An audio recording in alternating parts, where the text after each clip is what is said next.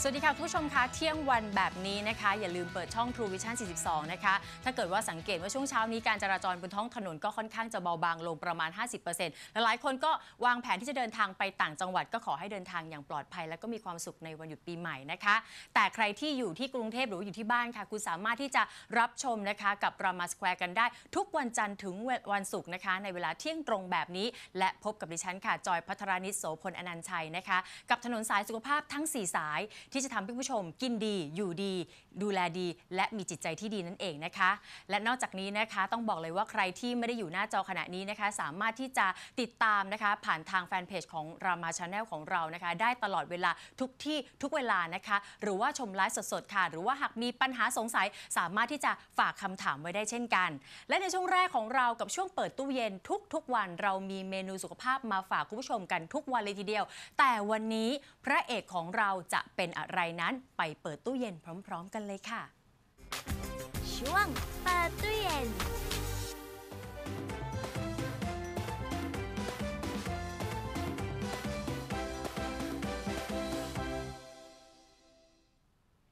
และนี่ค่ะก็คือพระเอกของเราในวันนี้นะคะ นี่ก็คือมะเขือเทศนั่นเองนะคะมะเขือเทศนี้เนี่ยถือว่าเป็นพืชที่อุดมไปด้วยแร่ธาตุแล้วก็ประโยชน์มากมายเลยทีเดียว และเขาเนี่ยก็นิยมนะคะนำมะเขือเทศเนี่ยมาเป็นส่วนประกอบของอาหารหลากหลายชนิดด้วยกันนะคะ ไม่ว่าจะเป็นนะคะ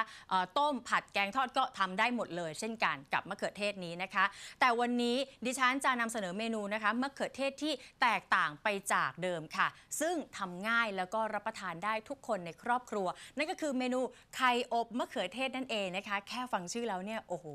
น่ารับประทานแล้วใช่ไหมล่ะคะ ในช่วงช่วงเที่ยงแบบนี้ เอาเป็นว่าไปชมวิดีอาร์พร้อม ๆ กันเลยค่ะ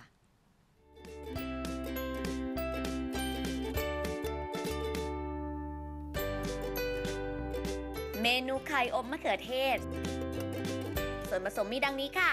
มะเขือเทศ 1-2 ลูก เห็ดหั่นชิ้นเล็ก 20 กรัม หอมหัวใหญ่สับ 1 ช้อนโต๊ะ พริกหวานหั่นชิ้นเล็ก 20 กรัม เบคอนหั่นชิ้นเล็ก 20 กรัม ไข่ไก่ 1-2 ฟอง น้ำมัน 1 ช้อนโต๊ะ เกลือ พริกไทย วิธีทำไข่อบมะเขือเทศ นำเห็ดหอมหัวใหญ่ พริกหวาน และเบคอนไปผัดกับน้ำมันมะกอกจนสุก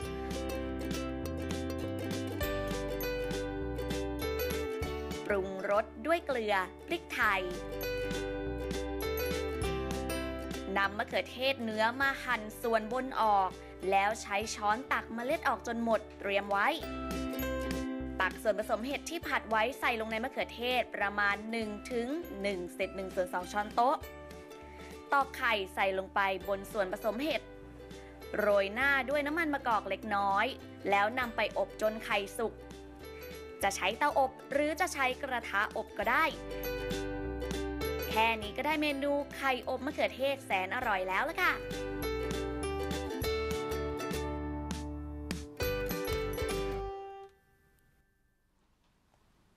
เป็นยังไงบ้างคะ คุณผู้ชมดูหน้าตาน่ารับประทานใช่ไหมล่ะคะ แต่ก็ทำไม่ยากด้วยเช่นกัน แล้วก็ใช้เวลาน้อยด้วย แต่ว่าคุณประโยชน์เยอะแยะเลยทีเดียว คุณผู้ชมหลาย ๆ ท่านก็คงจะรู้ถึงสรรพคุณของมะเขือเทศอยู่แล้วนะคะ แต่วันนี้ค่ะผู้จะมาพูดถึงสรรพคุณเพิ่มเติมของเจ้ามะเขือเทศนะคะ ที่มีมากกว่าสิ่งที่คุณรู้ วันนี้เราได้รับเกียรตินะคะ จากนักวิชาการโภชนาการคนเก่งค่ะ คุณกนกพรอมรวิชิตเวชฝ่ายนักวิชาการโภชนาการ คณะแพทยศาสตร์โรงพยาบาลรามาธิบดีมหาวิทยาลัยมหิดลค่ะ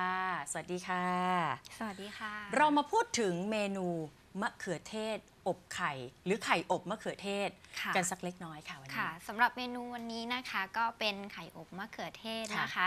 ซึ่งมีมะเขือเทศเนี่ยเป็นพระเอกนะคะพระเอ่อมะเขือเทศในวันนี้เราทำเป็นภาชนะอีกแล้วนะคะ เพื่อที่จะให้ดูน่ารับประทานมากยิ่งขึ้นนะคะ เหมาะสำหรับทุกเพศทุกวัยเลยนะคะ สามารถรับประทานเป็นอาหารว่าง อาหารคาวทานเล่นนะคะ หรือว่า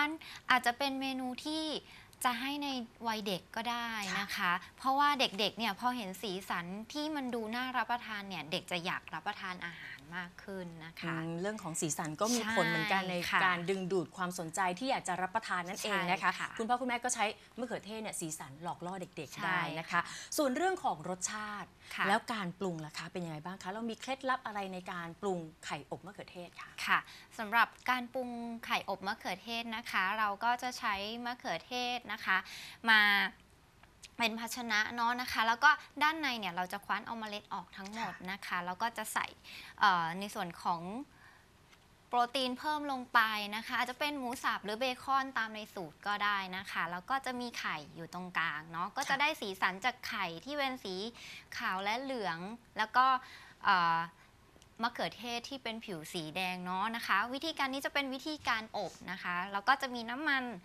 ช่วยเพิ่มในสัดส่วนของอาหารได้ด้วยนะคะ อืมนะคะก็แต่ถ้าเกิดกลัวอ้วนก็ใส่ปริมาณน้อยๆ หรือใช้แบบใช่สเปรย์ค่ะน้ำมันอะไรอย่างนี้ใช่ใช่ไหมคะค่ะแทนก็ได้นะคะ ส่วนพูดถึงเรื่องของคุณค่าค่ะคุณค่าทางอาหารค่ะของมะเขือเทศค่ะมีอะไรบ้างคะสำหรับคุณค่าทางอาหารของมะเขือเทศนะคะ ในมะเขือเทศเนี่ยมีคุณค่าทางอาหารมากมายเลยนะคะสำหรับสารอาหารหลักจริง ๆ แล้วอะค่ะมะเขือมะเขือเทศเนี่ยจะให้พลังงานไม่ค่อยเยอะเท่าไหร่ เพราะว่ามะเขือเทศจัดเป็นผักค่ะนะคะ ซึ่งมะเขือเทศประมาณ1ทัพพีค่ะ จะให้พลังงานประมาณ 28 แคลอรี่เท่านั้นเองนะคะ เพราะฉะนั้นเนี่ยเวลาการทานมะเขือเทศเนี่ยเราอาจจะทานรวมกับผักชนิดอื่น ๆ ด้วยค่ะเพื่อที่จะให้ได้วิตามินและแร่ธาตุที่หลากหลายนะคะ ในส่วนของมะเขือเทศเองอะค่ะ ก็จะมีตัวโปรตีนประมาณ 2 กรัมนะคะ คาร์โบไฮเดรตประมาณ 5 กรัมนะคะ แล้วก็จะมีพวกวิตามินและแร่ธาตุต่างๆ เช่น วิตามินที่เด่นๆ เลยก็ค่ะจะเป็นกลุ่มอนุพันธ์ของวิตามิน A ซึ่งเอาวิตามิน A ก็คือพวกกลุ่มเบต้าแคโรทีนนะคะแคโรทีนอยด์นะคะ แล้วก็จะมีสารสำคัญเลยนะคะ ตัวนี้ก็คือไลโคปีนเนาะค่ะนะคะ ตัวไลโคปีนเนี่ยจะเป็นสารพฤกษทางเคมีที่ทำให้ ช่วยชะลอริ้วรอยได้นะคะ ช่วยในเรื่องของลดการเกิดโรคมะเร็งต่างๆ โดยเฉพาะมะเร็งต่อมลูกหมากในเพศชายนะคะ แล้วก็ช่วยในเรื่องของการการขับถ่ายหรือว่าลด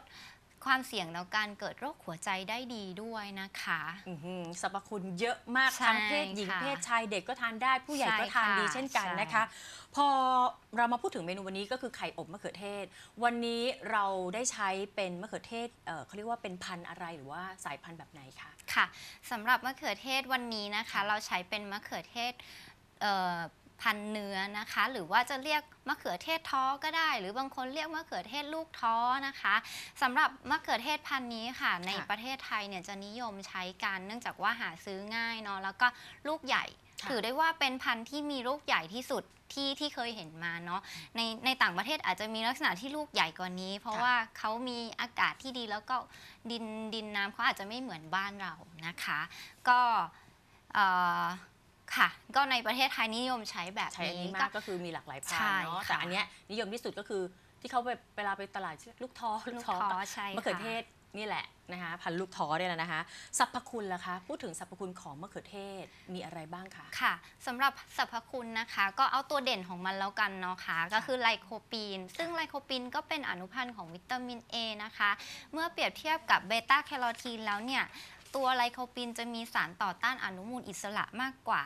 เบต้าแคโรทีนค่ะมากถึง 2 เท่าเลยทีเดียวนะคะ แต่เจ้าตัวไลโคปีนเนี่ยก็จะมีการศึกษาวิจัยมากมายเลยนะคะ ก็คือช่วยลดระดับคอเลสเตอรอลได้นะคะ ช่วยทำให้ความดันในเลือดเป็นปกตินะคะ แล้วก็ช่วยในเรื่องของการไม่แก่ก่อนวัยค่ะเนาะชะลอการเสื่อมของพวกเซลล์ต่างๆ ในร่างกายได้อืมนะนะคะคะ เพราะว่าสมัยโบราณ คนก่อนๆบอกว่าต้องทานมะเขือเทศเยอะค่ะ ๆ ผิวจะได้สวยๆ อ๋อ ค่ะก็เป็นที่มาที่ไปก็คือใช่สรรพคุณค่ะ ที่ได้บ่งบอกไปนะคะ แล้วถ้าเราจะอยากได้ประโยชน์สูงสุดจากเจ้ามะเขือเทศ จะกินทั้งทีอยากเอาให้แบบประโยชน์สุดๆเลย เราควรจะกินอย่างไรที่ได้ประโยชน์สูงสุด และควรกินปริมาณที่เท่าไหร่ถึงจะเพียงพอต่อวัน คะค่ะสำหรับเราจะกินยังไงให้ได้ประโยชน์สูงค่ะสุดนะคะ ก็คือว่าเจ้าเจ้ามะเขือเทศเนี่ยค่ะ ก็คือจะมีจุดเด่นก็คือไลโคปีนนะคะ ตัวไลโคปีนเนี่ยมันจะเอ่อทำงานได้ดีในก็คือดูดซึมในร่างกายได้ดีเนี่ยค่ะนะคะ ก็คือต้องผ่านกระบวนการปรุงค่ะ ก็คือให้ความร้อนหรือว่าจะใช้วิธีการก็คือต้องผ่านโปรเซสอะไรก็ได้ จะเป็นอืมต้มผัดแกงทอดได้หมดได้หมดนะคะ แล้วก็ไลโคปีนเนี่ยจะละลายได้ดีใน ไขมันด้วยนะคะอ๋อซึ่งค่ะถ้าเกิดว่าเราทำอาหารแล้วเรา มีน้ำมันเป็นส่วนประกอบนะคะ ก็คือจะทำให้ตัวไลโคปีนที่ติดอยู่กับผิวมะเขือเทศเนี่ยค่ะ ละลายออกมาในในน้ำมันได้ดี อ๋อ แล้วก็จะดูดซึมเข้าสู่ร่างกายได้ดีกว่านะคะ ก็แสดงว่าถ้าผ่านความร้อนไม่ได้ว่ามันจะสลายหายไป ใช่ค่ะ เอามาทำผ่านโปรเซสต่างๆ ก็สามารถที่จะได้รับสารอาหารได้อย่างสูงสุดเช่นกัน ใช่ค่ะ อ่านะคะคุณผู้ชมนะคะอันนี้นี่เป็นอีกหนึ่งข้อที่หลายๆ คนอาจจะยังไม่ทราบนะคะ แล้วมะเขือเทศที่พูดมาที่ทางทางนักวิชาการพูดมาเนี่ย มีแต่ข้อดีทั้งนั้นเลย ค่ะ มีข้อเสียบ้างไหมคะ แล้วก็ข้อเสียของเขาเนี่ยคือหรือว่าข้อควรระวังในการรับประทานมะเขือเทศมีไหมคะ ค่ะสำหรับมะเขือเทศนะคะ ก็ข้อควรระวังเลย ถ้าเกิดว่าได้รับมากจนเกินไปหรือว่าบางคนชอบทานมากๆ หรือ สรรพคุณมันดีจังเลยค่ะอยากได้ผิวก็เอามาสวยๆคั้นเป็นน้ำแล้วก็ค่ะทานจำนวนมากนะคะ ค่ะก็มีผลเสียนะเหรอคะ คะ ใช่ค่ะค่ะ ก็คือถ้าทานจำนวนมากๆเนี่ยก็อาจจะทำให้ร่างกายเนี่ยเป็นเอ่อตัวลักษณะของผิวร่างกายเป็นสีเหลืองได้เนื่องจากพวกสารเบต้าแคโรทีนที่มีอยู่ในกลุ่มผักผลไม้ที่มีสีแดงสีส้มพวกเนี้ยค่ะ มันกินเยอะๆก็จะกลายเป็นผิวสีเหลืองนะคะ แล้วก็ยังมีในเรื่องของถ้าเกิดว่า ในกลุ่มของผู้ป่วยที่มีการจำกัดแร่ธาตุนะคะค่ะซึ่งแร่ธาตุที่เด่นๆ ในมะเขือเทศก็จะเป็นแร่ธาตุโพแทสเซียมนะคะ ซึ่งโพแทสเซียมจะคุณสมบัติของโพแทสเซียมเนี่ยก็คือมันจะช่วยในเรื่องของการยืดหดตัวของกล้ามเนื้อหัวใจนะคะ ถ้าได้รับมากจนเกินไปเนี่ยหัวใจอาจจะมีการเต้นผิดปกติได้นะคะ หรือในกลุ่มผู้ป่วยที่เป็นโรคไตที่มีการ มีอัตราการกรองของไตลดลงแล้วเนี่ยนะคะ ถ้าเกิดว่าได้รับแร่ธาตุโพแทสเซียมเยอะจนเกินไปเนี่ยจะทำให้โพแทสเซียมข้างอยู่ในเลือดได้นะคะ จนทำให้ขับไม่ออกมีโพแทสเซียมในเลือดสูงได้นะคะนะคะคุณผู้ชมคะเห็นไหมคะว่ามะเขือเทศนะคะในวันนี้ที่เรามานำเสนอเป็นส่วนประกอบของเมนูเพื่อสุขภาพ แต่จริง ๆ แล้วเนี่ยก็คุณผู้ชมสามารถที่จะเติมมะเขือเทศ เป็นอีกส่วนหนึ่งในอาหารมื้อหลักๆของผู้ชมนะคะ ได้ทุก ๆ มื้อแต่จะต้องกินอย่างเรียกว่าพอเหมาะพอดีพอควรถ้ามากเกินไปก็อย่างที่นักวิชาการบอกนะคะว่าก็อาจจะทำให้คุณตัวเหลืองก็ได้เช่นกันนะคะ ดังนั้นก็เลือกรับประทานแบบสายกลางละกันนะคะ ให้พอดิบพอดีค่ะ และสำหรับคุณผู้ชมท่านไหนที่จดสูตรไม่ทัน คุณสามารถที่จะเข้าไปรับชมย้อนหลังนะคะ ผ่านทางไลฟ์นะคะของแฟนเพจ Rama Channel กันได้นะคะ ตลอดเวลาเลยทุกที่ทุกเวลาและที่สำคัญวันหยุดยาวก็อย่าลืมนะคะไปหยิบจับนะคะเมนูต่างๆ ที่เราได้นำเสนอไปก็สามารถมาทำเป็นกิจกรรมในครอบครัวได้เช่นกัน และวันนี้ค่ะทางเรานะคะรายการของเราก็ต้องขอขอบพระคุณนะคะ นักวิชาการโภชนาการคนเก่งค่ะ ที่มาแนะนำนะคะเกี่ยวกับสรรพคุณคุณประโยชน์นะคะ ของเจ้ามะเขือเทศในวันนี้ค่ะ คุณกนกพรอมรวิชิตเวชนักวิชาการโภชนาการฝ่ายโภชนาการ คณะแพทยศาสตร์ โรงพยาบาลรามาธิบดี มหาวิทยาลัยมหิดลขอบพระคุณค่ะขอบคุณค่ะ แล้วเดี๋ยวช่วงหน้าค่ะคุณผู้ชมเราจะพาคุณผู้ชมไปอัปเดตสถานที่สุขภาพแบบชิคๆตอนนี้เขาฮิตอะไรกัน เราจะพาคุณไปอัปเดตกันค่ะ ในช่วงหน้ากับ Better to Know ค่ะ